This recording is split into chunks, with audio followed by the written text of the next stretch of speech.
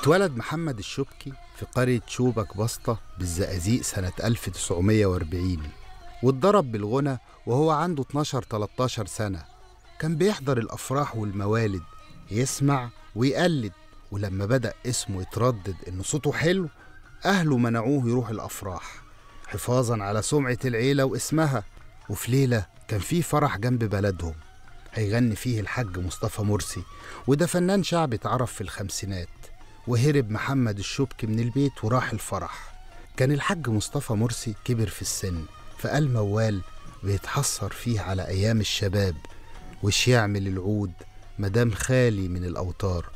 اتأثر الشبكي بالموال واستأذن إنه يغني وارتجل وقال يا حاج مصطفى من بعد الستين عملوا الحاضرين ليك هيبة والشعر الأبيض ده تاج بيزيد الرجال هيبة.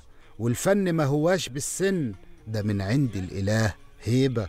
وفي الوقت اللي الناس كانت بتسقف فيه لمحمد الشبكي دخل أبوه الفرح وعينيه بتطق شرار. عايز الواد.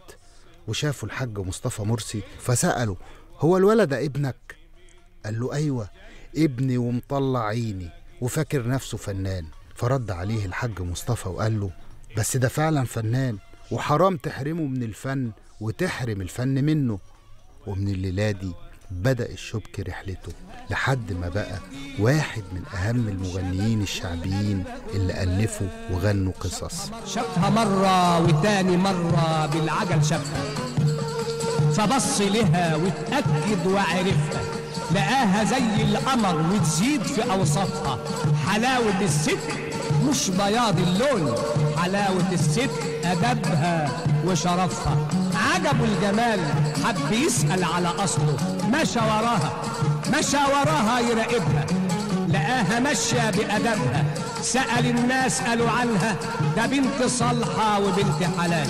لكن أبوها على قده. ما في أي شيء ملك في يده. والعطارة بعمله عطار بسيط على قد الحال. فقال خلاص على خيرة الله. مشى وخد رجلين وياه. وصلوا من ابوها وجلسوا معاه. بعد التحية بدأوا السؤال. قالوا إحنا جينا إلى حدك. الأخ نور طلب يناسبك وبالحلال ياخد بنتك. أبو البنية رد وقال يا 300 مرحبا بالناس الصالحين. وأنا يكل الشرف بنسبك يا نور الدين. اديني فرصة أشور. أما الجواب بعدين وبعد استشارة البنية البنت رضيت بيه شهر والتاني كتبت وفرحوا يا مستمعين.